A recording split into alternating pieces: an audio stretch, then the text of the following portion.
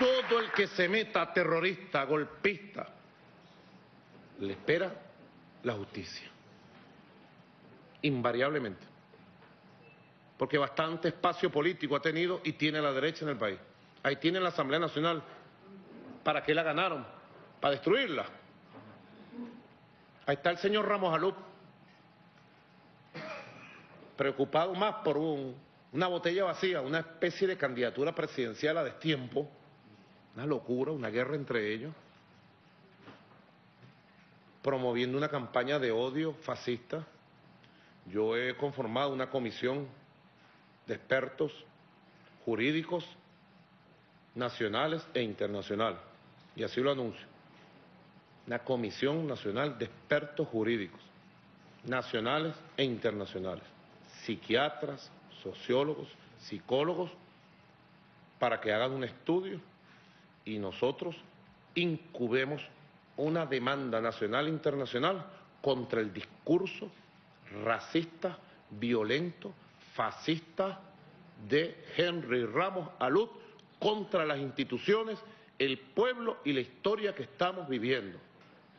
No voy a aceptar que en Venezuela se introduzca un fascismo o un tipo de racismo social tipo Ruanda. Y Ramos Aluz se pasó de la raya ya. Por el país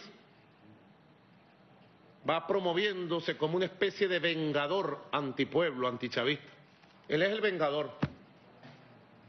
Y todo lo que hace viola las leyes internacionales que promueven y protegen la tolerancia interracial, intercultural entre los pueblos.